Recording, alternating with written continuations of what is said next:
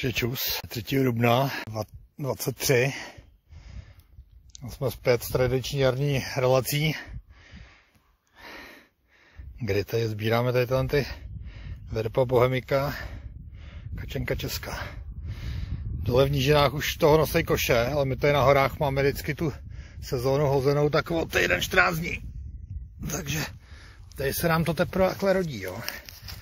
Takže tady je takhle jedna, vidíme, Jaká trochu vyžraná. Tady je jedna schovaná jehličí. Tady, tady máme oky. Tady máme další.